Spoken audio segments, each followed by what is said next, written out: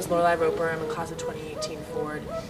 My strengths are I'm a great athletic post and a good rebounder. I have a 4.0 GPA, and my favorite player is LeBron James.